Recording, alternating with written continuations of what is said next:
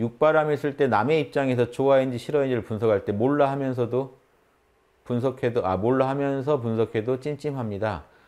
그럼 정보가 부족한 거잖아요. 정보가 더 정보를 더 모아야죠. 예. 아니 분명히 찜자로 체크도 하시되 뭐 찜자거나 이렇게 체크도 하시고 부족한 부분이 뭔지 또 살펴보셔서 보강을 하셔야 그래야 보강해 보면 알잖아요. 보강을 정보를 모아봤는데 여전히 찜자면 정보 문제가 아닌 거고요. 그렇죠? 그러니까 어느 부분 때문에 찜찜한지를 정보가 부족한 건지 내가 뭔가 판단을 잘못하고 있는 건지 어떤 편견이 있어가지고 뭔가 누군가를 혐오하고 있어서 계속 답이 오답이 나는지 정보 문제가 아니라 뭐 이렇게 다 서로 얽혀 있긴 해요.